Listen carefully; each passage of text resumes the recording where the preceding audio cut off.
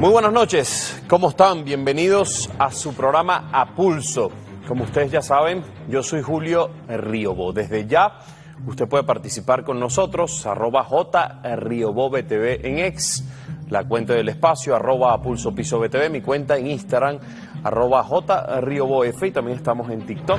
Vamos a activar para transmitir desde ya en vivo desde el nuevo estudio 4 de Venezolana de Televisión. Ya además, BTV que cumple 60 años, está, está en HD. A mí me gusta más HD porque HD me afea la figura. Pero, bueno, salto importante de SD a HD. Y además el gran trabajo de todas las personas que laboran en, lo que nosotros llamamos nuestra casa venezolana de televisión. Bueno, nuestro invitado el día de hoy estuvo el pasado domingo con nosotros en el cierre del operativo. Es un doctor en ciencias políticas, español, profesor universitario. También tiene estudios de, de en licenciatura de economía. Y estará con nosotros hablando, bueno, lo que ha sucedido esta semana. Mm, el día lunes, dado el desconocimiento de los resultados por parte de un ala extremista de la oposición mm, y pagándole a algunos sectores, eh, sobre todo delincuentes, no es una, una manifestación pacífica, eh, aquel, aquellos comanditos violentos de la extrema derecha de 20 Venezuela causaron destrozos en algunos estados de nuestro país.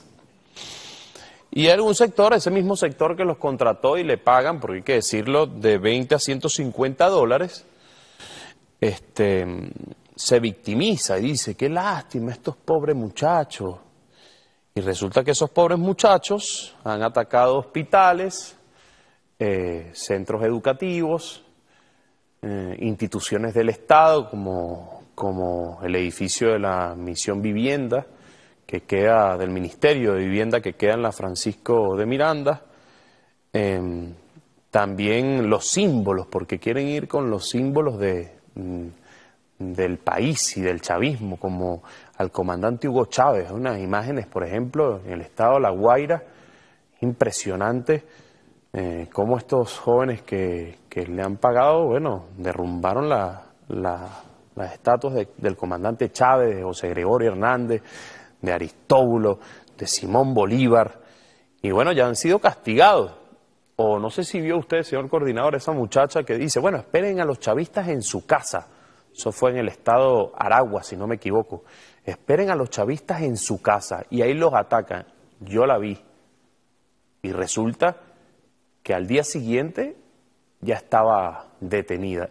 Y como muchos de esos, de esos personajes extremistas, fascistas y terroristas, llorando, arrepintiéndose de lo que hicieron.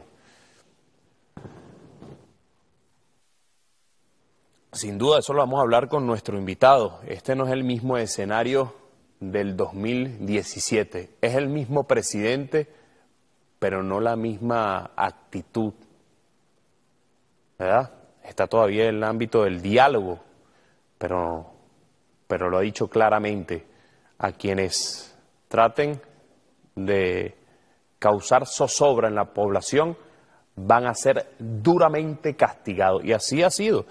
Yo lo recordaba que estuve, mm, yo sé que está un, un poco larga la introducción, Omar, pero tengo que comentarlo.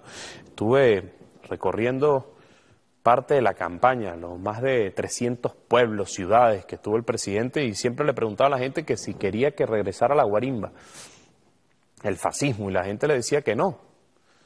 Y cuando el presidente escuchaba eso, de una comentaba, yo voy a garantizar la paz antes, en el momento de la elección del pasado domingo 28 de julio y después de las elecciones. Y así ha sido y eso lo vamos a abordar con nuestro invitado. Pero como les comentaba el día lunes, de estas actitudes fascistas, ya estamos transmitiendo envío por, por Instagram y TikTok, como les comentaba, el lunes comenzó esta, esta arremetida de los comanditos violentos, también el pueblo se volcó a las calles. Antes de presentar a mi invitado, lo voy a dejar con imágenes de los distintos sectores que se movilizaron al Palacio de Miraflores. Hoy el presidente estuvo con el sector de las mujeres, si no me equivoco, el día de ayer con los CLAT y antes de ayer la clase obrera movilizada. Bueno, vamos a ver parte de esas imágenes y al regreso estará con nosotros nuestro invitado, eh, doctor en ciencias políticas español, que ya, bueno, creo que fue hace un mes que yo estuve con él en este programa y fue el último que hice antes de regresar luego de la elección presidencial. Vamos a abordar todos estos temas con él, pero lo dejamos con las imágenes. Aquí estamos, los hijos de Bolívar, los hijos de Guaycaipuro. Suena la diana, los soldados a la batalla, los enemigos de... Es para que el mundo nos vea, que vea que Maduro tiene pueblo, que Maduro tiene gente, que no somos invisibles, ¿verdad? Y volvemos a ratificar que el que ganó las elecciones aquí en Venezuela fue el presidente Nicolás Maduro. La derecha siempre, cada vez que hay elecciones, dice que hubo fraude. Ya eso es un disco rayado de la derecha.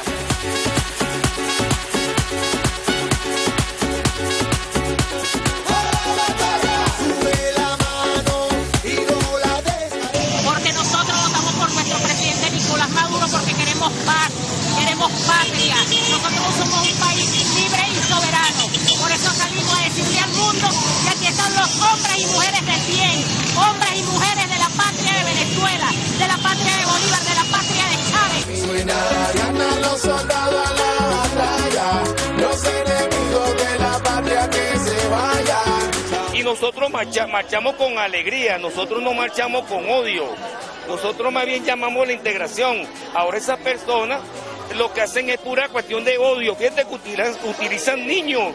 En esta marcha, no sé, eso que están haciendo ahorita la- las guarimbas, la cantidad de menores, son unos irresponsables. Porque ha llegado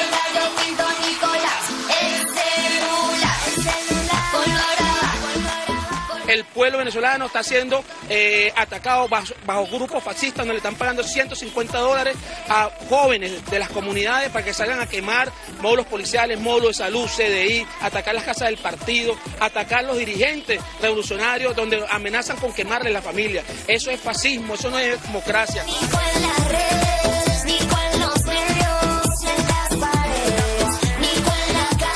Oposición ha declarado fraude desde el 2002. Para nosotros no es nuevo lo que están haciendo, claro. Las protestas violentas no ganan nada porque están destruyendo un país tan maravilloso como es Venezuela, nuestra patria.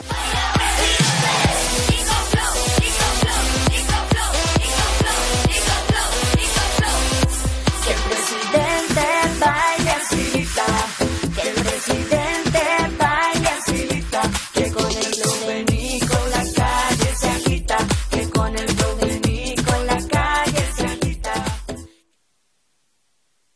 Bueno, nos acompaña Juan Carlos Monedero. ¿Cómo está usted? Gracias por venir a su programa A Pulso. La Un placer. La campaña de... Parece que fue ayer que decía Fray Luis de León después de salir.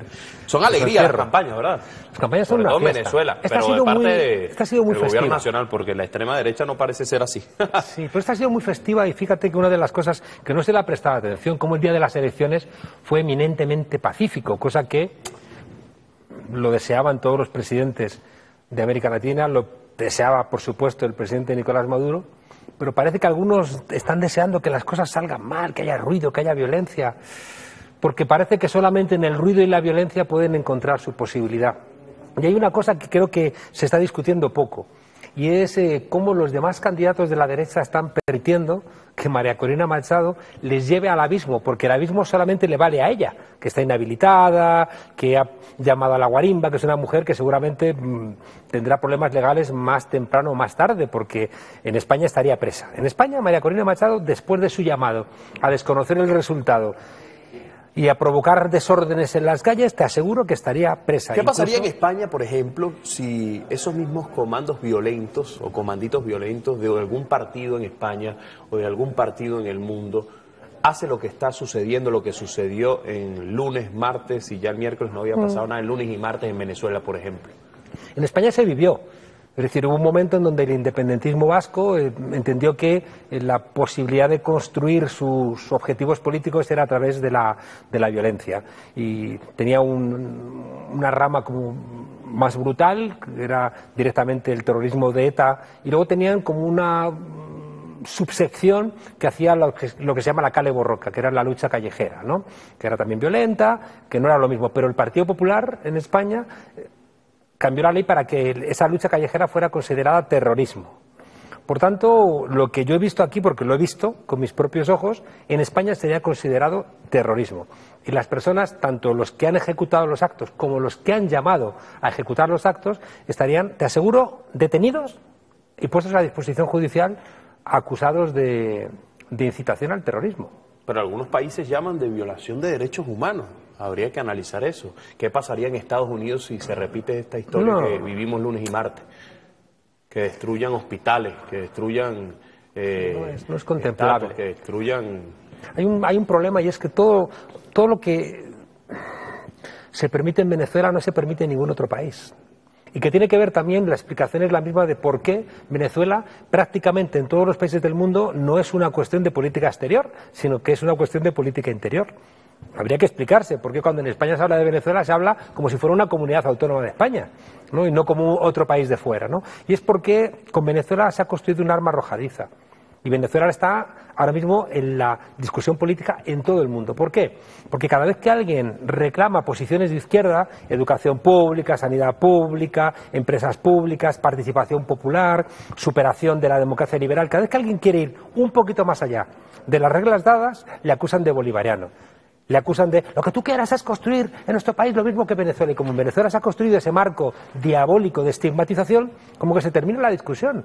Entonces, claro, es como en la Edad Media el argumento del diablo. Entonces, eh, ¿cómo argumentas contra los que te acusan de estar poseído por el diablo? No es, no es sencillo, ¿no? Y en muchos países una parte de la izquierda ha renunciado a defender a Venezuela porque dices que eh, me resulta un enorme despliegue de energía y prefiero no hacerlo. Y se equivocan, ¿sabes por qué? Y esto creo que es lo más importante que te voy a decir en toda la charla. Y tiene que ver con un libro que me sorprendió mucho releerlo. Lo había leído más joven, pero lo he vuelto a leer y me he quedado de piedra. De Aimé Cesaire, que era un político de Martinica, un político negro, que escribió en 1950 un libro que se llama Sobre el colonialismo, donde él cuenta que todo lo que los europeos hicieron en África, todo lo que los alemanes hicieron en Namibia contra los Herores, los Damna, los Hotentotes, todo lo hicieron luego a otros alemanes. En África lo hicieron por negros, a los alemanes se lo hicieron por judíos, comunistas, anarquistas, socialistas, homosexuales, gitanos. Todo lo que está intentando hacerse en Venezuela, todo, si le sale bien, lo van a repetir en todos los países de América Latina. Y eso te lo digo no porque tenga una Ensayo bola error, de por cristal, no porque tenga una bola de cristal, sino porque la derecha aprende. ¿Por qué apoya a la derecha, que siempre ha sido antisemita, apoya a Netanyahu? ¿Por qué la derecha europea y la derecha latinoamericana, que siempre ha odiado a los judíos, que hace nada estaban insultando a Soros o estaban insultando a Marx por judíos, ¿por qué ahora apoyan a Netanyahu? Bueno, porque si Netanyahu se sale con la suya, ellos tienen un ejemplo de lo que les gustaría hacer con cualquier opositor en sus países. Y van a justificarlo que lo hacen contra otros. Los judíos lo hacen con los palestinos. Pero es que después lo van a hacer con los judíos de dentro, ¿eh? O sea, toda la masacre, si le sale bien a Netanyahu, va a hacer lo mismo con los que están manifestándose en la calle protestando contra las masacres. Fíjese, hace tres semanas antes de las elecciones nosotros hicimos un programa y, y hablábamos de lo, de lo que se decía en el momento. La extrema derecha no iba a reconocer el resultado. Ya se dio ese evento el 28 de julio y mm, usted me dijo en ese momento que sin duda el mensaje, el guion de la extrema derecha ya estaba, ya estaba listo y que la acción nunca fue electoral. ¿Cómo podemos eh, analizar, analizar ese evento que no fue electoral. Estados Unidos se ha quitado la careta para estar nuevamente de frente a un golpe de Estado. Lo dijo la responsable del Comando Sur, ¿no? Y lo dijo Donald Trump. Quieren el petróleo de Venezuela y también quieren castigar en la espalda de Venezuela a todas las izquierdas del mundo y decirles, si seguís con vuestra actitud vais a terminar como, como Venezuela. Y claro que era un guion escrito. No tenemos que ser ingenuos. La crisis del modelo neoliberal a partir de, de 2008, que es lo que les ha llamado, llevado a llamar a la extrema derecha, y la crisis geopolítica, es que Estados Unidos tiene problemas serios, serios, ¿eh? en términos geopolíticos. Va a perder la guerra en Ucrania, perdió la guerra en Afganistán, que tuvo que salir de allí huyendo, no le han salido bien las cosas en Irak, no le han salido bien las cosas en Siria, y necesita de alguna manera, a través de la guerra, justificar sus posiciones. Si Venezuela se sale con la suya, pues resulta que tiene una nueva derrota Estados Unidos. Y son demasiadas derrotas. ¿no? Y por eso te decía que estaba escrito en las estrellas que lo que quería la oposición era participar. Pero tenemos que ser justos, Julio. Yo creo que no era toda la oposición. Yo creo que la oposición ha sido abducida por María Corina Machado. Yo no sé, Manuel Rosales, que es un tipo con experiencia política, ¿por qué no sale a dar un golpe encima de la mesa y decirle a María Corina Machado, has incumplido la ley, te vamos a poner los hierros, vas a ir presa y yo me hago cargo de la oposición, y me hago cargo de los cuatro millones y medio de votos, que son muchos votos. Y una derecha sensata e inteligente diría, pues vamos a empezar a trabajar con nuestros cuatro millones y medio de votos y vamos a empezar a trabajar políticamente. Porque María Corina Machado no puede hacer eso porque va a estar inhabilitada. Entonces ya lo que necesita es romperlo todo a ver si de las cenizas ella puede emerger como lideresa. Pero los demás, ¿qué hacen? Usted decía que el tema ya es una batalla internacional, me lo acaba de comentar, y ese sector extremista empezó a publicar un poco de actas y, y papeles, otros rasgados. Hoy el doctor Jorge Rodríguez hizo una exposición, una rueda de prensa presentando varias pruebas y acaba con el mito eh, que existía con las actas supuestamente verificadas, pero para el mundo esas actas son reales. ¿Cuál es la batalla que hay que dar allí? Eso también es muy importante y yo creo que no se ha explicado del todo bien. ¿Por qué? Porque prácticamente en todo el mundo occidental el voto es en una urna, mientras que en Venezuela el voto es en una máquina. Automatizado. Claro. Y la gente eso no lo entiende. Porque nosotros entendemos físicamente que hay una urna, se mete el voto, cuando termina la jornada electoral, electoral se abre la urna, se cuentan los votos y se hace un acta. Aquí no es así. ¿Por qué? Porque ustedes han tenido fraude electoral toda la vida, con Acción Democrática y con COPEI. Claro, Y- hoy el presidente presentaba, por ejemplo, a Ramos Alú en el año 2004. En el 2006, a el que es ahora gobernador de- del estado Zulia, Manuel Rosales. Luego, en el 2013, también lo hizo Enrique Capriles. Todos esos han dicho que van a presentar las pruebas y han pasado No, casi nunca. 20 años y no, Claro, no lo han nunca hecho. las presentan. Entonces, ¿qué ocurre aquí? Ocurre algo que pasaba aquí, pero también pasaba, por ejemplo, en México. El acta mata al voto. Los que redactan el acta, fuera en las ciudades, fuera en Caracas, donde fuera, al final, si Acción Democrática y COPEI redactaban el acta donde supuestamente se validaba el resultado final y no se recogían los votos de la izquierda, no funcionaba. Por eso ustedes optan por un método electrónico, donde, si en Europa tenemos la urna, ustedes tienen la máquina. Y la máquina es la que emite el acta. Eso no se entiende. No se entiende. Esta máquina es la que emite el acta. Por eso, cuando se audita la máquina, es cuando realmente se está verificando si la máquina dicta lo que realmente ha salido. El acta real es la que sale de la máquina. Y lo que están esgrimiendo desde mm, la candidatura de, de Edmundo González y María Corina Machado es un resguardo, es un papel. Pero conviene que la gente lo entienda. Es un respaldo, pero entendamos ese respaldo. Ese respaldo tiene una ventaja, y es que lo tienen todos los miembros de la mesa. Y por tanto, si como ocurre, que era lo que temíamos todos, los supuestos resguardos que tiene Edmundo González no coinciden con los resguardos de los demás y no coincide con el voto que sale de la maquinita, Que es lo más seguro. ha porque- mentido. Entonces había una doble trampa. Primero presentaron algunas mesas que a lo mejor eran reales, eran de sitios donde habrá ganado la oposición. Y decían, hemos proyectado y teníamos, recuerdo que decían el primer día, el 73% de los votos. Porque en sus proyecciones ilusas, a lo mejor contando lo que habían sacado en el Atillo y la Lagunita, pues decían, hemos ganado en toda Venezuela. Luego, además, hoy sabemos que es que encima se han inventado esos papelitos.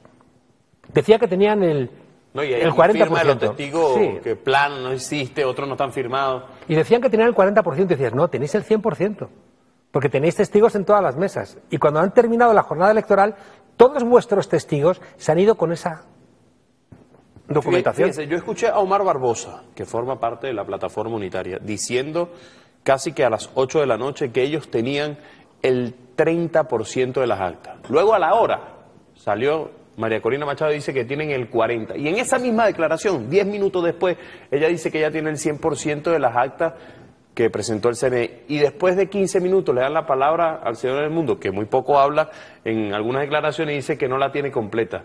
Entonces, ¿cómo Porque están creer? improvisando. ¿Cómo creer? Claro, y Están además que eso es lo que podría generar en aquel sector el descontento. Y Todo están- un escenario para que Estados Unidos... Están improvisando, Julio, porque están peleados entre ellos. Porque el diseño era bueno. El diseño es impecable, el que han hecho, ¿eh? Se hackea al Consejo Nacional Electoral. Un ataque, claro. no puede dar los datos oficiales y aparece la oposición diciendo, yo tengo las actas oficiales, aquí están, tengo el 73%. Un plan, un plan.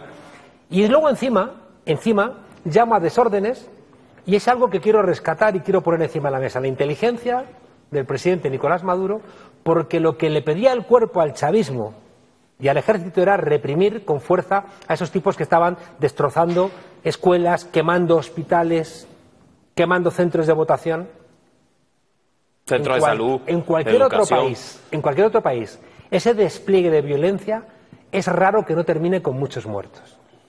Y fíjate si con las mentiras de las supuestas actas han generado este escándalo, ¿qué no sería si la noche del domingo y el lunes hubiera sobre las calles de Venezuela 200 muertos? Fíjate el ataque brutal que supondría al gobierno, al presidente Nicolás Maduro, a Venezuela, etcétera. Y por tanto te digo que estaba muy bien diseñado. Lo que pasa es que como están peleados entre ellos, no terminan de llegar a acuerdos y por eso ni siquiera comparten la información.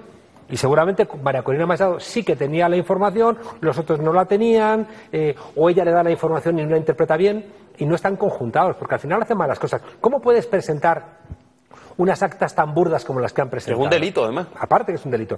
Actas con, como tú dices, firmadas con iniciales, otras sin firmar, otras... Otras estaban rotas. Entonces, ¿por qué haces eso? Y eso es lo que explica también, y lo tiene que saber todo el mundo, que cuando el Tribunal Supremo de Justicia, Superior de Justicia ha citado hoy a los 10 candidatos y Edmundo González no ha querido ir, ¿Por qué no fue, por ejemplo? pues porque si no lo tienen que meter preso. O sea, si Edmundo González presenta unas actas que son falsas, es un delito electoral. Y es uno de los delitos más graves que puede haber en un país. Intentar falsificar el resultado de las elecciones que va a cambiar el gobierno de un país. Es un delito muy serio. un Tendríamos delito contra tres la delitos. democracia. Presentar al TCJ, es el análisis que, que hacemos, presentar al, tres- al TCJ unas actas que no son reales. Eh, dar un resultado por encima del Consejo Nacional Electoral, que es un delito, además. Claro. Y eh, el que... Y llamar a los desórdenes. Llamar a los desórdenes esa noche, claro. Pero digamos que María Corina podía ser la que po- podría reunir los tres. Edmundo, el hombre con, con eso de que está mayor y habla poco, podría un poco ponerse de lado, ¿no? Pero claro, si él es el que presenta esos documentos en el Consejo Nacional Electoral, él y sus abogados tienen que ir presos. Y el señor tampoco dirá, no estoy yo como para ir preso. estuve leyendo algunas cosas, sobre todo usted que, bueno, eh, el presidente a veces hace relación a, a que se presentan como personajes buenos, eh, adultos mayores, por ejemplo. Y estuve leyendo el prontuario de ese señor en El Salvador. Cuando está El Salvador es terrible. En El Salvador, Es terrible. cuando eh, Leopoldo Castillo, que tenía un programa de televisión en Globovisión, una televisora privada de Venezuela, eh, bueno, él conocido como el Matacura, era embajador, él era el asesor o la mano derecha de, Era el primer. de, Leopoldo, de Leopoldo Castillo. Entonces, también tiene un prontuario eh, fascista y terrorista, que es lo que vemos en las calles Sí, o los sea, dos la gente primeros que días de saber esta que era cuando había un plan en Ecuador para asesinar a toda la gente de izquierdas, incluidos a los curas. Recordemos que asesinaron a Yacuría y a otros sacerdotes jesuitas. Y se sabe, hay pruebas de que el Leopoldo Castillo participó, ayudó en ese operativo de, de asesinato de, de insurgentes de izquierdas y eh, el número uno de la embajada, después de, de Leopoldo Castillo, era el Mundo González. O sea, sabía todo lo que ocurría. No son, no son trigo limpio. No, son cualquier trigo cosa. limpio. Y es uno de los errores de la oposición que dices, oye, que hay mucha gente joven inteligente, preparada. ¿Por qué no preparáis otra oposición? ¿Por qué seguís insistiendo en los que vienen dando golpes de Estado desde el año 2002, cuando menos?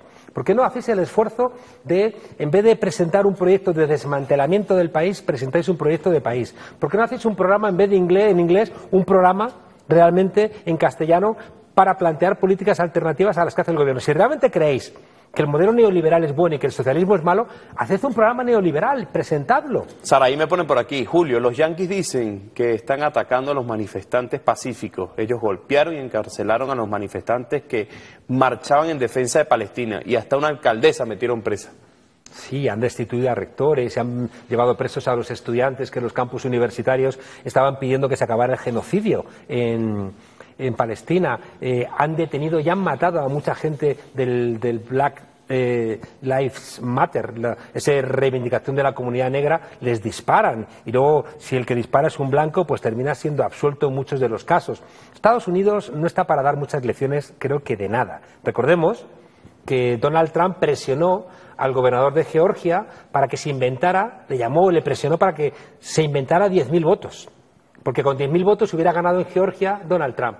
Y si hubiera ganado Georgia Donald Trump, el presidente no sería Biden, sino que sería Donald Trump. ¿Y qué pasó? ¿Pasó algo por esa presión? No, los jueces conservadores le absolvieron.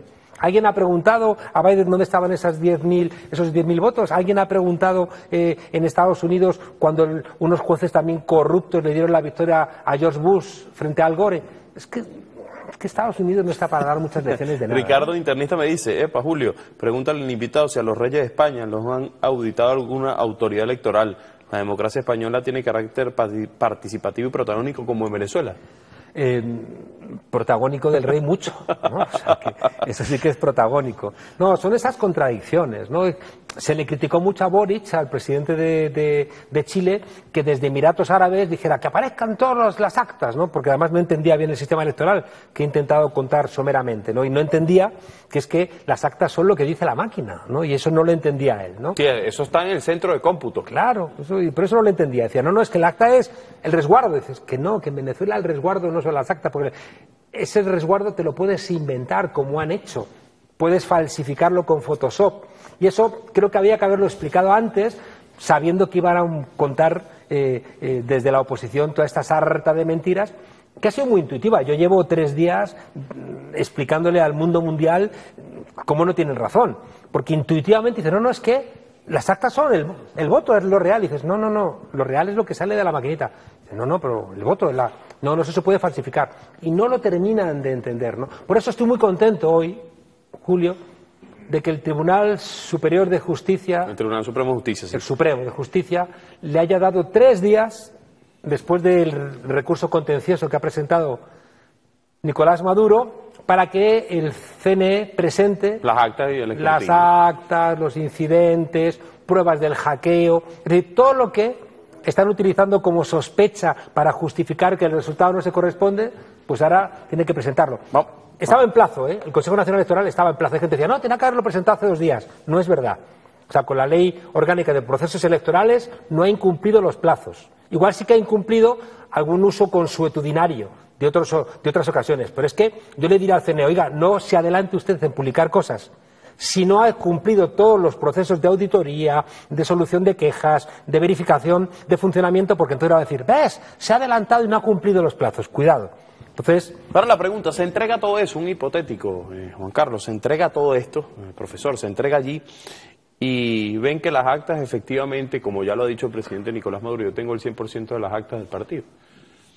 Van, se entregan, eh, se ratifica la victoria del presidente Nicolás Maduro. ¿Se va a acabar el ataque internacional? ¿Cuál es el guion que le espera a la extrema derecha luego de que han cometido un fraude con, con las actas y las actas estén 100% verificadas y se acabe ya la matriz de opinión, sobre todo en Venezuela, capaz no en el mundo, porque el presidente decía algo muy interesante, lo del mundo González Urrutia no fue noticia en el ámbito internacional, que no acudió al, al Tribunal Supremo de Justicia. Claro. Pues esto es lo segundo más importante que te voy a contar esta noche. Me ha dicho dos cosas. Lo segundo más importante es que yo creo que las elecciones que ha habido en Venezuela son una suerte de parteaguas entre el declive de la hegemonía norteamericana acompañada como mayordomos tristes de la Unión Europea y los BRICS. ese conjunto de países donde está Brasil, Rusia, China, India, Arabia Saudí, donde fue invi- invitada Argentina y declinó y donde está invitada Venezuela. ¿Por qué te digo que es un punto de inflexión muy importante? Porque ese declive que estamos verificando de Estados Unidos, Estados Unidos tiene un problema grave de suministro de petróleo para su propio consumo. ¿eh? Si Venezuela, que es el país con las reservas registradas más importantes del planeta, empieza a trabajar con los BRICS y no trabaja con Estados Unidos, Estados Unidos tiene un problema. Y por eso yo no descarto, Y no invitaron des- al presidente de Rusia, además. yo no descarto que dé marcha atrás Estados Unidos. Es decir, gente inteligente. Hoy está hablando con eh, un grupo que se llama Empresarios. eh, ¿Cómo se llama? Eh, empresarios del petróleo de Texas, ¿no? Que le están diciendo a, al presidente Biden. Terán, el ¿Está- compañero Terán. Sí. Está en parte Sí, de sí. ese empresariado. Pues le está diciendo a Biden, estás loco. Si no conseguimos que Venezuela colabore con nosotros, no vamos a poder garantizar la necesidad energética del país. Y por tanto, fíjate, la- la- en ese parteaguas hay un sector que dice tenemos que irnos con Estados Unidos y con la OTAN, a como sea, le regalamos el territorio, le regalamos a la Exxon el Esequibo, le regalamos lo que quieran, y otro sector que dice vamos a ser soberanos y vamos a crecer con los BRICS. Y vamos a ser soberanos energéticamente y vamos a vender nuestras riquezas. Y creo que este comportamiento de la oposición, este comportamiento de Estados Unidos, este comportamiento de eh, Perú, este comportamiento de Argentina, está acabando la fosa de diferencias. Y cuando se termine la dictadura eh, legal y democrática de Argentina, cuando se termine la dictadura ilegal y no democrática de Perú, cuando se terminen todos esos eh, sucesos, creo que desafortunados, de las democracias latinoamericanas, y se mira hacia adelante, ya no van a mirar hacia Estados Unidos. Ese mirar hacia adelante va a ser. Por ejemplo, Perú dice que aquí hubo fraude. Nah, pues- ¿Qué puede decir Perú de eso? ¿Cómo llegó que Dina está el, Boluarte? el presidente Castillo encarcelado porque a él le dieron un golpe de Estado. ¿no? ¿Quiénes son? ¿No? O el, el demente de, de, de, de Milei. Esta mañana me llamaban de una radio argentina un periodista muy vehemente ¿no? decía es que Venezuela es que es que los inmigrantes y digo claro es que ha habido una sanción durísima que ha costado lo comentaba el Washington Post tres veces lo que provocó la gran depresión en Estados Unidos entonces el tipo insistía, le digo, mire, me va a perdonar, pero han venido muchos periodistas argentinos a cubrir las elecciones y se han sorprendido de que en los supermercados venezolanos hay más productos que los supermercados argentinos y más baratos. Hoy uno de los que siempre ha denunciado el fraude, que lo decía el presidente, yo vi el video luego, eh, hay una cadena comercial eh, de farmacia en este país y mientras que ellos dicen y las personas de la plataforma unitaria llaman que aquí hay una desobediencia civil, una guerra civil, eh, un ambiente hostil para que la gente salga a trabajar y todo esto, estaba comprando como si nada, dentro, lo voy a decir públicamente, dentro de Farmatodo, Claro. comprando como cualquier cosa, mientras eso es lo que dice en las redes sociales, pero en la realidad es otra. Es que por eso te decía también que, que estos golpes mediáticos, porque son golpes mediáticos, Eso lo hizo Gerardo Blay, se me olvidó nombrar quién era el personaje. Son golpes mediáticos que construyen una realidad paralela, pero la realidad paralela dura lo que dura su contrastación con la realidad. Yo puedo decir que esto no existe, pero existe y suena, ¿no? Y cualquiera se choca con ello, ¿no? Sea una mosca o sea un ser humano. Entonces, eh, claro, fíjate que esto es lo tercero más importante que te voy a decir. Se creen Está la sus pro- muletilla de Juan Carlos Monedero. se creen ¿no? sus propias. No, no, no voy a decir más de cinco grandes cosas importantes. Una de las cosas que les pasa es que terminan creyendo sus, sus propias mentiras, porque les construyen mundos paralelos y el emperador está desnudo, pero no lo sabe. Fíjate, que alguien me explique, a ver si la gente que te está escribiendo, alguien me explica cómo es posible que Xochitl Gálvez, la candidata que contendió contra Claudia Sheinbaum en México por la derecha y Claudia Sheinbaum por la izquierda, por Morena, ¿cómo es posible que pierdas por 30 puntos y nadie te lo diga? ¿Cómo es posible que seas derrotada por 30 puntos de distancia y nadie en tu equipo te haya dicho vamos mal en las encuestas? Y que incluso esa noche electoral hagas el ridículo dando una rueda de prensa diciendo hemos ganado, hemos ganado. Y llamen al fraude, porque Claro, también algunos, claro. Entonces- algunos llamaron al fraude. Entonces, al final esta gente terminan creyéndose ese guion que les han preparado unos guionistas de Hollywood para representar su show. Tú sabes que cuando termina la guerra de Irak, le piden a los guionistas de, eh, de Top Gun que diseñen cómo tiene que anunciar George Bush el fin de la guerra. Y entonces parece que él baja de un portaaviones que está en Irak. Una escena, y, una escena. y- y va con el casco y parece que él ha pilotado el avión como si fuera, eh, ¿cómo se llama ese? Tom Cruise, ¿no? Entonces, esos guiones se los han hecho. El día anterior, esa encuestadora que se está mencionando que ha trabajado mucho con la CIA, dice no, el, el exit poll dice que hemos ganado por el 73%. Las encuestas que publican prácticamente todos los, los periódicos occidentales, el Mercurio, el País, el Clarín, el Excelsior, claro, todos dicen gana, le saca 70 puntos. Claro, luego la gente ve eso y dice, o las encuestas son unos mentirosos o ha habido fraude. Y como la gente vive en esa burbuja, en esa cámara de eco, donde solamente recibe ese tipo de información, lo contaba en una viñeta un argentino, que había un padre viendo las noticias en la computadora y la hija le dice, pero papá, ¿no, das- ¿no te das cuenta que son mentiras? Y el padre le dice, pero hija, ¿cómo van a ser mentiras si coincide con lo que pienso? ¿no? Entonces parece que ya la gente no quiere que le cuenten las noticias, quieren que le reafirmen lo que quieren pensar. Fíjese, mm, hablando de redes sociales, ex, este, Instagram, eh, TikTok, sabemos que hay muchas cuentas que la han bloqueado, no solamente ahora, eso es histórico, a presidentes como, como a Nicolás Maduro, otros presidentes, el tema de Max Zuckerberg. Pero ahora Elon Musk ha tomado la, la bandera de la ultraderecha venezolana. ¿Por qué pasa eso? Y si uno revisa sus redes sociales, es el que más publica, me atrevería a decir, fake news contra Venezuela. Sí, sí. Y el presidente lo denunció hoy, hay un ciberataque. El periodista Roy ha publicado como 20 noticias falsas. Sí, de- y bastante, y fotos y videos, hay varios. No sé si usted recuerda, usted lo debe recordar, el que, el que sale un, yo lo ve de, yo lo vi de, ¿cómo que se llama? Del, del compañero Serrano, que colocó una, una, en una vivienda estaban sacando unas cajas. De aire acondicionado, de aire acondicionado y él nos dice, mira cómo se roban, Macías también cómo, contado, cómo sí. se roban, cómo se roban las cajas contentivas de las actas.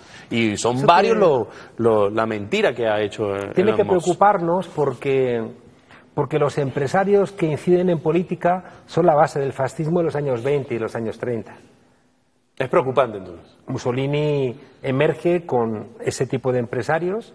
eh, Hitler es nombrado canciller sobre la base de, la legislación de emergencia de la República de Weimar, después de una reunión con los grandes empresarios que dicen, venga, porque es que si no van a venir las izquierdas, preferimos que venga, que venga este y, bueno, que se encarguen en la calle de matar a comunistas y nosotros, di- dijo la derecha entonces, nosotros gestionamos el Estado. Y luego los, en la noche de los cuchillos largos, mataron a los conservadores que pensaron que se iban a contentar los nazis con solamente parar en las calles a los comunistas.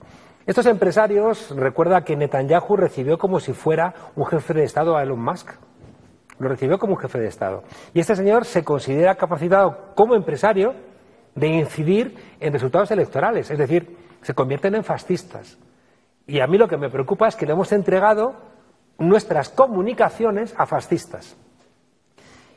Y la cuarta cosa más importante que te voy a decir esta noche Me queda una. es que, ya tengo que medirla bien, es que, igual que hace 100 años peleamos por el derecho al voto para tener democracias, ahora o recuperamos una comunicación libre, veraz, fiable y plural, o se acaban nuestras democracias. Si la comunicación se la dejamos en manos de empresarios que controlan Facebook, WhatsApp, Instagram, Twitter o X, estamos perdidos, porque intoxican a la gente. En Ruanda, una radio, una radio, la radio de las mil colinas, fue la que envenenó a los Hutus para asesinar a decenas de miles de, eh, de Tutsis. Una radio envenenando. Y ahora tenemos las redes constantemente o entreteniéndote para que no te preguntes ni la hora O intoxicando. o intoxicándote. Entonces, ¿cómo vamos a hablar con nadie? Están circulando cadenas que me quieren a mí matar y que no sé qué. Pero por favor. Es decir, están envenenando a la gente diciéndoles que los que no pensamos como los dueños de estos medios de comunicación, poco menos que queremos, no sé, el apocalipsis, cuando son estos otros los que van a traernos el apocalipsis. Recientemente yo le preguntaba al jefe de Estado en un programa en TikTok, TikTok Live, le preguntaba de lo que él siempre decía en, en- en campaña, David contra Goliat. ¿Estamos viendo a Goliat en este momento? Sí, sí.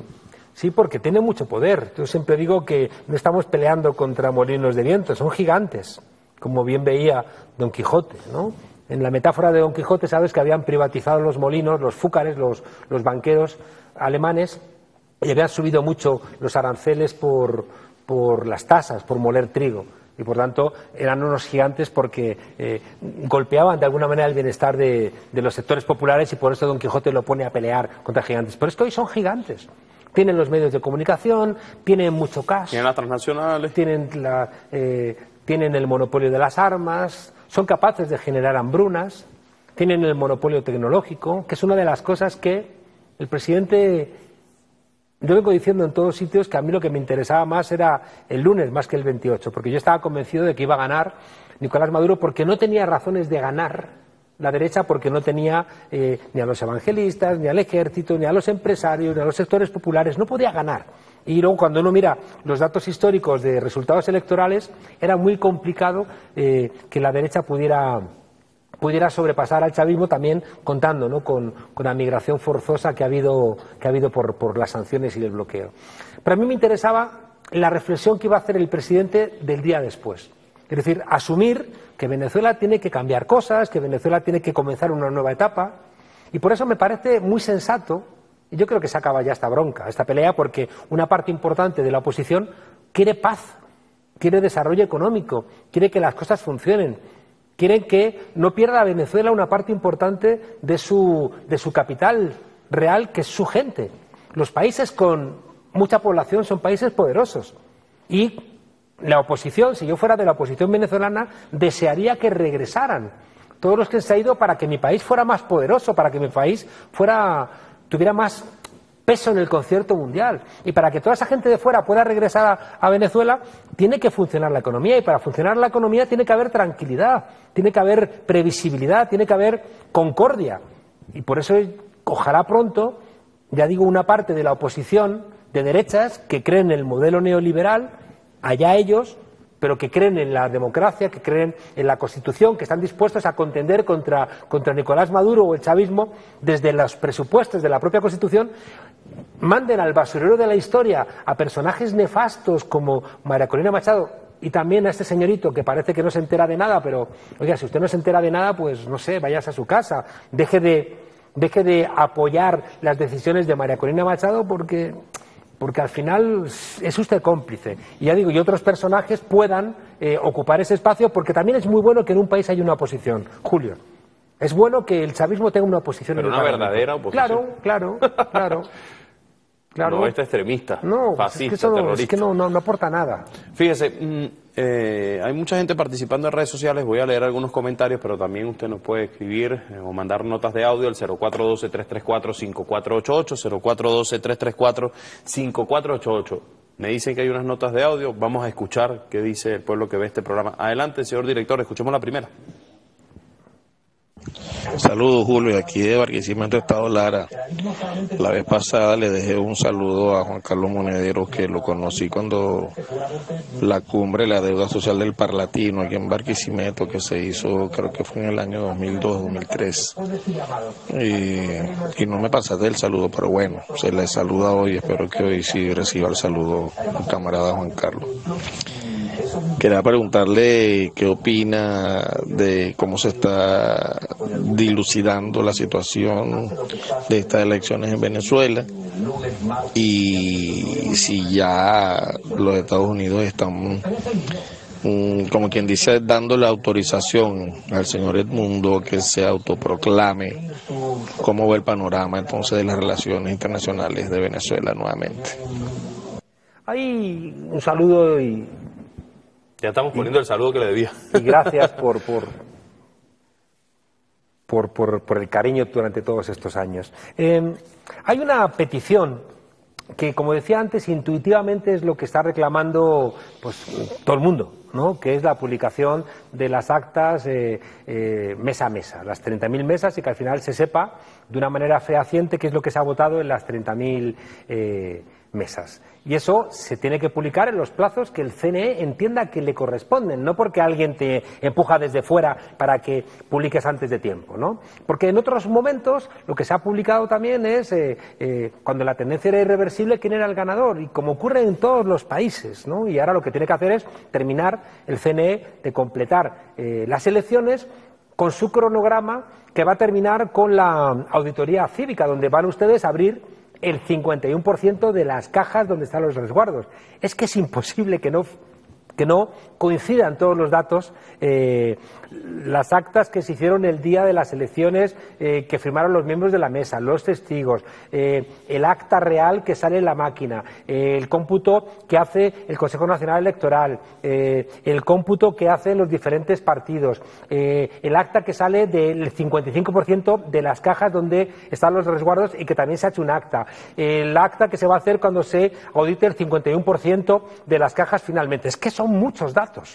Y por tanto, no se sostiene esta idea de que puede haber fraude, no es real. Y por eso siempre todos los presidentes de los tribunales electorales de América Latina han dicho, este sistema es muy fiable, saquen ya los datos, saquen los datos. Bueno, pues los datos saldrán, ojalá salgan muy pronto. Pero ha habido un adelanto.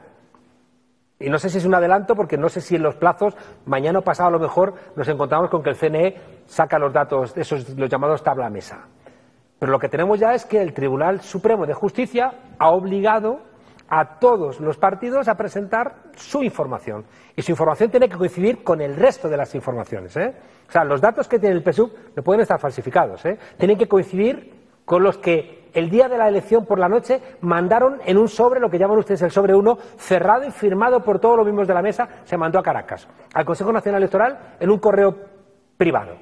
Y por tanto, ese sobre tiene que coincidir con lo que tienen los miembros de la mesa. No puede haber trampa.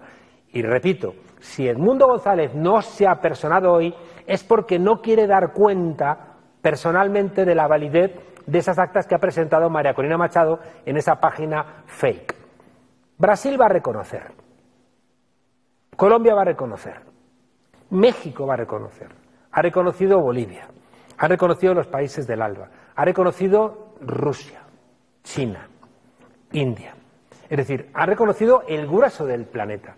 ¿Qué va a hacer Estados Unidos?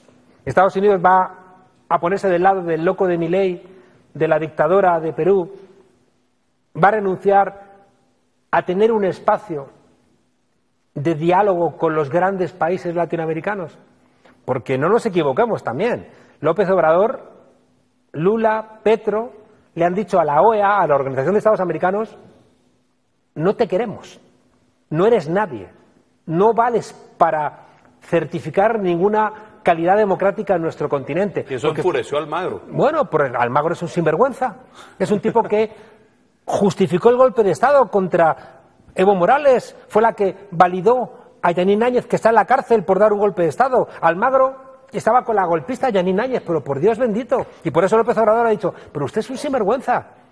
Y Lula le ha dicho, usted es un sinvergüenza. Y cualquier persona decente le tiene que decir a Almagro, usted es un sinvergüenza. Y la OEA es una recuperación por parte de Estados Unidos desesperada cuando sus títeres, Macri, Iván Duque, Bolsonaro, dinamitaron la UNASUR, que era el espacio real junto con la CELAC de la representación de América Latina, Centroamérica y México, porque Estados Unidos quiere la OEA porque es la que él controla. Y el presidente Chávez, que es una de las cosas por las cuales le han odiado siempre, montó la UNASUR, montó la CELAC y dijo, aquí Estados Unidos, no, somos los países latinoamericanos. Hablando de las incongruencias de la, de la extrema derecha, vamos a realizar una pausa, una última pregunta, señor Leonardo. Vamos para allá. Dice, eh, eh, dicen en redes sociales que, sobre todo Tomás Guanipa, lo dijo en redes sociales, que por qué no repetimos las elecciones. ¿Qué le parece? ¿Cómo analizar eso? No, si ellos yo- ganaron, ¿verdad? Si ellos ganaron, tienen las actas, ¿por qué quieren No. repetir las elecciones? Y también hay inicialmente el, el canciller de Petro creo que también se equivocó, ¿no? Porque Bueno, se viene equivocando desde Sí, hace- desde hace- porque jugaba con esa idea y, y aparte tuvo una frase muy fea, ¿no? Enséñales al mundo, ¿no? Y el mundo qué tiene que decir. Si yo como español eh, me dice alguien, enséñales al mundo, vaya usted de paseo, ¿no? O sea, ¿quién es usted para decirme a mí lo que tengo que hacer con mi sistema político, ¿no? Entonces, creo que ahí ese señor, no sé si estuvo demasiado tiempo de, en Estados Unidos, de embajador, y ahí se le pegaron tics que no son convenientes para un gobierno progresista y para una persona progresista y a la que tanto quiero, como Petro, que me parece una persona muy valiente, muy sensata y muy inteligente, ¿no? Creo que... Pero ¿cómo se explica eso y querer repetir las elecciones? Bueno, pues, Esa misma ultraderecha que dice que ganó por paliza, además. Yo juego contigo 20 dólares a cara cruz. Y da una moneda. Tú dices cara, sale cara. Y te digo ahora, me juego 40. Y da una moneda. Y vuelves a ganar tú. Yo me juego 80. Y vuelves a ganar tú. 160. Y ya gano yo, digo, ya no juego más. No diga, así no son las cosas. Las elecciones es un día que nos ponemos todos de acuerdo para expresar la voluntad popular después de un debate, de una deliberación, donde se han evaluado las propuestas y también el desempeño de los diferentes actores políticos y en ese día de las elecciones nos ponemos de acuerdo para eh, articular quién va a dirigir el Estado. Cuidado, y también ha dicho el presidente una cosa muy importante. ¿Quién va a dirigir el Estado? No quién va a cambiar la Constitución, porque gana Milei las elecciones y se permite el lujo de cambiar presupuestos constitucionales, que es lo que le llevó al presidente Nicolás Maduro a decir, oiga, aquí no piensen que van a llegar los fascistas y van a cambiar las políticas que el pueblo se ha dado a sí mismo para prosperar. Eso no es. En las elecciones tú no puedes desmantelar la base democrática de un país. El día de las elecciones es el día donde dirimimos quién va a gobernar en el próximo lapso. En la democracia liberal, decía Rousseau en el contrato social, qué tontos los ingleses que creen que son libres porque votan cuando solamente son libres una vez cada cuatro años. La democracia protagónica hace que el pueblo sea protagonista no solamente el día de las elecciones, sino todos los días. Y es ese pueblo que se considera protagonista el que dice, vamos a elegir quién va a dirigir el gobierno, pero el funcionamiento del Estado lo hacemos entre todos. Y la Constitución la aplicamos entre todos. Y el poder constituyente lo tenemos el pueblo, no el que gana las elecciones. Por eso, esa frase que tanto la decía Chávez y que también la, la ha dicho muchas veces el presidente Maduro, mandamos obedeciendo, ¿no? obedeciendo al pueblo, que tiene ese protagonismo. Claro, que de repente eh, ese esfuerzo que hace un país de decir quién va a dirigir la política, si pierdes digas, vamos a, vamos a tirar otra vez la moneda, a ver si gano yo. Hombre, eso no es serio, ¿no? Fíjese, vamos a realizar una pausa. Recuerde, puede participar con nosotros, arroba J, Río BTV en la cuenta del espacio, arroba Pulso Piso BTV, mi cuenta en Instagram, arroba J, Río OF, y también estamos en TikTok, JR Periodista, y el 0412-334-5488. Son las 11 y 2 de la noche. Me decía, no puede ser que estemos una hora y media conversando. Pero bueno, sí. Es que hablas mucho. Vamos a la pausa. Leo, vaya y venga. No se parte.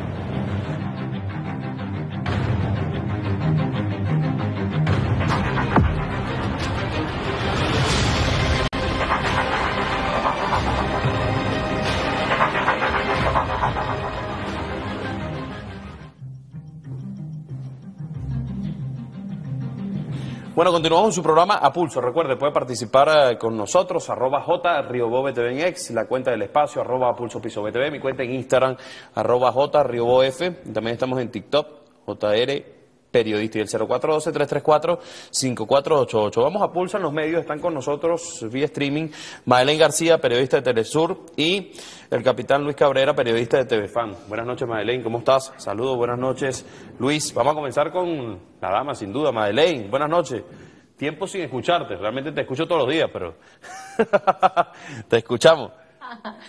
Buenas noches, ¿cómo estás Juan? ¿Cómo estás Julio? Bueno, eh, y Luis, eh, Juan, ¿cuál es tu análisis eh, de lo que pueda suceder después de todo esto? Fíjate, ¿no?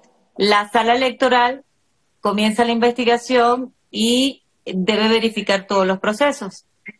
Eh, pero paralelamente ya Estados Unidos con sus aliados en el mismo escenario de Juan Guaidó. Si eso se mantiene así, ¿cuál, ¿cuál es tu análisis de lo que va a suceder? Ya Venezuela tiene experiencia en esto y hemos corrido como con un gobierno paralelo interino, inexistente, pero para la narrativa internacional es el supuesto presidente Edmundo González Urrutia, porque precisamente ellos dejan ver esas actas en esa página, se adelantan al CNE, hacen todo, o sea, la supuesta cuarta perfecta, pero ya sabemos que para acá en el terreno nacional no funciona, ¿no? Más allá de sus seguidores y de ellos que están convencidos por toda la campaña que generaron durante todo este tiempo para que cognitivamente la gente, eh, bueno, creyera que ciertamente iba a haber ese fraude, ¿no? De hecho, un día antes ellos crean esta página y curiosamente sucede así. Ellos entonces son pitonizos para saber que al día siguiente iba a pasar las cosas, ¿no? Cuál es tu análisis frente a eso. Y lo segundo, ¿por qué crees tú que al final eh, van eh, necesitan de esa estructura eh, eh, o, o, de esa ese supuesto gobierno inexistente que hay detrás que buscan. ¿Por qué no reconocer a Nicolás Maduro si le ha dado incluso todas las eh, consideraciones necesarias, garantías para invertir y para hacer de todo? O sea, ¿cuál es el ensañamiento? Gracias, Madeleine. Eh, hay, un, hay un filósofo popular en México, eh, el filósofo de Güemes, y una de las cosas que cuenta es eh, que cuando dos galgos persiguen a un conejo, si el primero no lo agarra, el segundo menos. Que quiere decir que mm, si el primer Guaidó no sirvió para nada, no te digo nada, este segundo, ¿no? Yo he contado varias veces que se montaron varios de la oposición en un taxi y un taxista negro, no hay desdentado, de esos que desprecian tanto, estos, estos blanquitos guapos y prístinos, y le preguntaron, bueno, ¿y cómo ve usted esto de Guaidó? ¿Y cómo ve lo que va a venir ahora? Entonces el hombre se gira y dice, pues después de Guaidó vendrá Guaitré, ¿no? Que era como, como, como esa sabiduría popular de reírse de esta gente, ¿no? Si Guaidó no ha sido capaz de hacer nada, nada, ¿Qué va a hacer ahora este señor que no pinta nada, que está muy mayor, que está enfermo, que se nota que no tiene voluntad, que no lo reconoce Rusia, que no lo reconoce China, que no lo reconoce India, que no lo reconoce los BRICS, que no lo reconoce una buena parte de América Latina? ¿A dónde coño va? ¿No? Entonces, Estados Unidos lo que hace es sigue echándose paladas sobre su propia tumba. O sea, no, no veo ninguna posibilidad de nada. Y como bien dices, hay sectores crecientes en Estados Unidos empresariales que están aquí invirtiendo y que le van a presionar tanto a Trump como a Biden para que dejen de hacer el idiota. Porque los sectores norteamericanos dicen, es que estamos ganando aquí plata, estamos aquí eh, obteniendo beneficios, que es lo que quieren los empresarios. Y ustedes nos van a romper el negocio. ¿Qué hacen? ¿Qué están haciendo? ¿no? Entonces, claro, es verdad que los empresarios de la guerra pues esos estarán encantados de intentar construir una conflagración bélica con el Esequibo, porque van a vender muchas armas y van a enriquecerse. Pero el resto de los norteamericanos no. Y por tanto yo creo que, decía al comienzo del programa, que creo que las elecciones en Venezuela tienen algo, algo de parteaguas, ¿no? donde creo que Estados Unidos sigue apuntalando su decadencia y supongo, y supongo que si son inteligentes, si yo fuera asesor del gobierno norteamericano, le diría, recojan el sedal, den marcha atrás, digan que les han dado una mala información, que la nueva información que se ha brindado les parece correcta y hagan como los grandes países del continente latinoamericano reconozcan al presidente Nicolás Maduro porque es lo que dice el Consejo Nacional Electoral y es lo que han decidido los venezolanos y las venezolanas.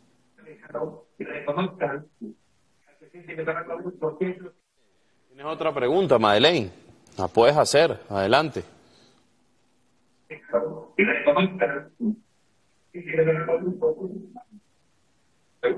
Ah. Puedes hacer, adelante. Sí, sigo con, sigo, sigo con, con, este tema. O sea, ¿por qué el, el, el ensañamiento, digo, eh, en contra de Venezuela si el presidente Maduro ha dado todas las garantías para los inversionistas, o sea, nunca les ha trancado nada, solamente ha dicho respeto a la soberanía, respeto a la, a la, a la dignidad, a, la democracia del pueblo venezolano. Pero ver más allá de esto, ¿cómo se va a mover la geopolítica mundial? Mira, Madeleine, lo primero, tenemos que pensar que la derecha ha perdido, en el momento neoliberal, ha perdido su condición liberal. Es decir, la derecha está dejando de ser democrática. Y por eso pueden dar un salto de derechas moderadas a derechas radicales en Argentina, en Brasil. ¿Dónde estará la democracia cristiana chilena con Cast, la democracia cristiana brasileña con Bolsonaro? Y los empresarios argentinos ganaron muchísima plata, muchísima con Néstor Kirchner. En cambio, cuando falleció tristemente, celebraron y se reían y escribían en las paredes viva el cáncer. Los empresarios venezolanos ganaron mucho dinero con el presidente Hugo Chávez, mucho dinero. Igual, celebraron su triste fallecimiento porque en el fondo hay una clase empresarial, que no son todos los empresarios, pero hay un sector empresarial que considera que los países le pertenecen y siempre se ponen nerviosos cuando no están ellos en el gobierno y dedican parte de su dinero a financiar a partidos de derecha o de extrema derecha que consideran que les van a defender mejor sus intereses. Añádele que la derecha global ha construido un monstruo y cuando tú construyes un monstruo, el monstruo ya se te escapa. Y han construido el monstruo de la Venezuela bolivariana, enemiga de la paz, de la tranquilidad, de los niños y de los perritos. ¿no? Entonces, en la construcción de ese artefacto de Venezuela no pueden dar marcha atrás porque ellos han asustado a su propia población diciéndoles que todos los males del mundo los representa Venezuela.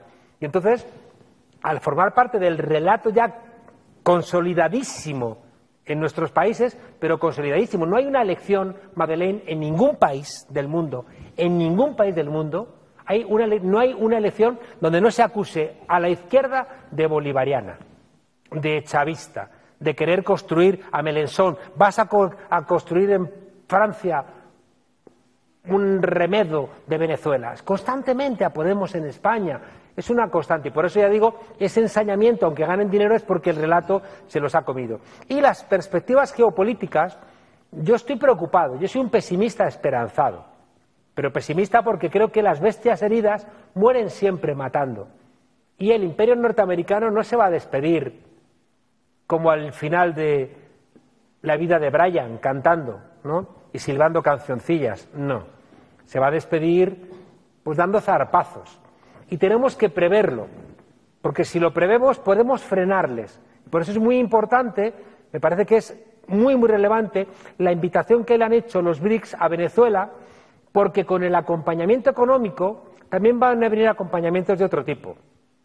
En el momento en que Venezuela esté acompañada por los BRICS, va a ser más complicado que la amenacen, que la sancionen, que la castiguen, que la invadan, aunque yo creo que lo de la invasión nunca lo han considerado, porque si se le ocurriera a alguien invadir Venezuela se encontraría con algo mucho más duro que lo que se encontraron los gringos en Vietnam por tanto, las invasiones no termino de verlas, porque pagarían un alto costo. Pero bueno, seguir con este tipo de comportamientos sí que lo veo bastante factible, porque no toleran, no toleran ningún resultado. Ha ganado Melenchon las elecciones en Francia. ¿Le han dejado presidir la Asamblea? No. ¿Le van a dejar a Melenchon o a alguien del nuevo Frente Popular gobernar? No. Es decir, no, no seamos ingenuos de pensar que este neoliberalismo en crisis va a ceder tranquila y apaciblemente su hegemonía porque no lo va a hacer. Y por tanto yo lo que veo en el futuro es un reforzamiento de Venezuela con Brasil, con Colombia, con México, con los hermanos de América Latina y que tienen que ayudar también a que se vayan al basurero de la historia los que están causando tanto dolor a sus pueblos en Argentina, en Panamá, en Perú, etcétera. Con el capitán Luis Cabrera, periodista de TVFAN. Hola Luis, saludos, buenas noches, te escuchamos. Muy buenas noches, agradecido de verdad por este, esta invitación en nombre de nuestro ministro de la Defensa, general en jefe Vladimir Patino López y todos los combatientes, hombres y mujeres que hoy defendemos esta patria. Bueno, eh, tanto gusto, doctor Juan Carlos Monedero, politólogo, de España. Y quisiera, por favor, que usted compartiera eh, parte de lo que ha sido su afirmación cuando menciona que el periodismo debe hacer valer la verdad. Y en segundo lugar, el rol que juega nuestra Fuerza Armada Nacional Bolivariana, que garantiza la paz, que garantiza la defensa militar. Pero además de eso, también participa en la política porque los generales de la República son hombres de Estado y perfectamente nosotros hoy podemos decir al mundo que hay una unión cívico, militar, inquebrantable. Quisiera saber si usted ha percibido esa unión que garantiza hoy día el éxito y el porvenir de la patria venezolana. Muchísimas gracias. Claro. Me preguntaba, gracias por tu pregunta, me preguntaba hoy un periodista español eh, que qué me parecía la declaración del presidente Maduro de que llegado el caso, aquí habría otra revolución mucho más profunda. Como diciéndome, mira qué cosas dice el presidente Maduro. Entonces yo le he contestado al periodista que mm, nuestros derechos civiles, nuestros derechos políticos y nuestros derechos sociales, es decir, lo más hermoso de nuestras constituciones, tanto la española como la bolivariana, viene de revoluciones. Viene de la Revolución Francesa, viene de la Revolución Americana, viene de las revoluciones del siglo XIX, viene de la Revolución Rusa, y que por tanto que recordemos que los orígenes de nuestros derechos están asentados en constituciones, eh, perdón, en revoluciones, me parece muy hermoso. Y en ese sentido, Venezuela tiene una peculiaridad y es que es uno de los pocos países del mundo donde se sabe que el ejército no va a intervenir para disparar a su propio pueblo, como ha pasado tantas veces en tantos sitios en América Latina, sino que la principal misión del ejército en Venezuela es defender la Constitución y, por tanto, defender al pueblo. Y claro, cuando de repente tienes a un ejército comprometido en la defensa de la Constitución, es muy difícil que venga nadie a quebrar la Constitución. Y claro, a mí me parecía muy hermoso eso que era una anécdota, pero que en el fondo expresaba mucho más, que era este hecho de que mm, una soldado se negó a darle la mano a saludar a María Corina Machado. Y uno se preguntaba, pero esta señora que ha llamado a una invasión norteamericana que les hubiera correspondido a ustedes junto con el pueblo, porque siempre cuando nos invade alguien es el pueblo junto con los militares, no siempre los militares. En España, cuando la invasión francesa fue el pueblo el que respondió porque los militares en eso no estuvieron a la altura, igual que en el año 36 fue un sector del ejército el que nos dio un golpe de Estado. ¿no? Por eso a veces no siempre en España se entendió el papel del ejército en, en Venezuela, que yo lo entendí pensando en los militares leales a la República que tomaron las armas para defender la Constitución de 1931. Y en ese sentido, como les le planteaba, bueno, pues a mí me alegra profundamente ese compromiso, porque ese compromiso que tienen ustedes con la defensa de la Constitución es el que evita las veleidades que puede tener nadie de una invasión o tienen ustedes la capacidad de frenar de inmediato, como ocurrió el domingo y el lunes, cualquier intento de tumbar el gobierno con guarimbas, con manifestaciones y encima tienen ustedes la profesionalidad de haberlas frenado sin generar muertos, lo cual demuestra una enorme profesionalidad y ojalá funcionasen así todos los ejércitos de, todo el mundo. Y la primera pregunta que usted me hacía forma parte de uno de, de los desafíos más grandes que tenemos. Y es que los medios de comunicación en las redes sociales y la inteligencia artificial, con la capacidad de producir noticias y de tergiversar la realidad, si no la frenamos, si la dejamos en manos de locos como Elon Musk, de pequeños dictadorzuelos, de gente abocada al negocio, de gente para mí psicópata como Mark Zuckerberg, que hace que nuestros hijos estén enganchados a Facebook o a Facebook, a Instagram o a cualquier red social, mientras que ellos le prohíben a sus hijos usarlas. Que hay que ser muy psicópata para que tú produzcas droga para los hijos de los demás que no la quieres para tus propios hijos o repensamos el papel de la inteligencia artificial, y la ponemos en manos de lo público, o recuperamos las redes sociales para lo público, o repensamos el papel de los medios de comunicación y las redes sociales en la actual democracia, o creo que la perdemos. O creo que la perdemos porque están inyectando irracionalidad en una buena parte de la población. Y cuando alguien entra en la irracionalidad, no hay diálogo. Y la democracia nuestra, nuestras democracias actuales, nuestros gobiernos representativos, nacen de la creación de esferas públicas. Si no hay una esfera pública donde los venezolanos y las venezolanas pueden evaluar lo que ha hecho el gobierno y lo que plantea la oposición, si no existe esa esfera pública, la democracia se desvanece. No tienes a quién votar ni por qué votarle. No puedes autorizar a nadie a gobernar ni desautorizar a alguien para que gobierne porque no tienes criterio. Claro, cuando la esfera pública en una buena parte se convierte en, un envenenamiento irracional, donde la discusión es imposible, donde priman los gritos, las mentiras, las amenazas, las fake, los bulos, desaparece la democracia. Por tanto, y lo digo muchas veces, hoy, en todos nuestros países, si queremos defender la democracia, tenemos que empezar a militar en el relato. Tenemos que ser militantes del relato, porque si no, el relato va a terminar no por matar nuestra militancia, sino por matar nuestra propia condición de demócratas.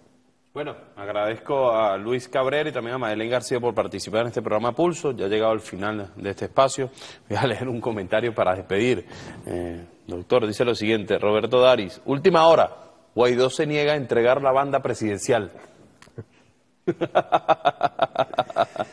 y dice por aquí, Monedero dice que la oposición debe renovarse, cierto, debe salir de gente nueva joven eh, capacitado, sensato, sano mentalmente, desechar a estos disque líderes. Son unos fracasados, desechar a María Corina y el resto. Y también un comentario, una pregunta por aquí con esa despido, y espero su rápida respuesta. Dice, Nano Vergara dice, buenas noches amigo Río Por favor, consultar al invitado lo siguiente, ¿qué reacción espera de Sánchez, España? Gracias de antemano y saludos de Puerto Ordaz. Yo creo que Pedro Sánchez, que tiene un gobierno complicado, donde también hay gente más a su izquierda, y también para poder sacar leyes necesita un parlamento donde hay gente también más todavía a su izquierda, como es Podemos, tiene que en esos equilibrios encontrar cómo puede recuperar parte del piso perdido en América Latina, porque Sánchez reconoció a Guaidó, desconoció a Maduro, amenazó a Maduro ha apoyado las sanciones, se ha convertido en algún momento en adalid de los que se creían con derecho a decir que se podía sancionar a este pueblo. Y por tanto, Sánchez, si es inteligente y no es una persona tonta, debiera entender que para recuperar el pulso en América Latina tiene que ir de la mano de los grandes países de América Latina. Y escuchará a López Obrador, escuchará a Lula, escuchará a Petro y terminará también escuchando a Nicolás Maduro Moros, que es el presidente legítimo de este país. Estoy convencido de que cualquier alternativa a ese reconocimiento seguirá acabando también la inoperatividad y la falta de relevancia de la Unión Europea en América Latina, que es creciente. Si España quiere recuperar parte de, ese, de esa relación que ha tenido con este continente, si quiere seguir aprovechando el cariño que nos tenemos los pueblos, tiene que respetar, cosa que no ha hecho, la voluntad del pueblo que nombró a Nicolás Maduro cuando España reconoció a Juan Guaidó y que ahora tiene que respetar la reelección de Nicolás Maduro cuando otros quieren volver a falsificar la voluntad del pueblo diciendo que ha ganado las elecciones Edmundo González. Gurrutia, sí, así es. Bueno, agradecemos a Juan Carlos Monedero. Faltó la última cosa más importante que me puede decir. Pero como sé que en algún otro momento vas a querer invitarme, he preferido guardármela para no agotarlas. Bueno, nos vamos. Agradezco a TV Fan, Telaragua, eh, Radio Miraflores, la Radio del Sur y mi casa venezolana de televisión por transmitir este programa en tiempo real. Nos vemos el próximo viernes a las 10 de la noche. Feliz fin de semana.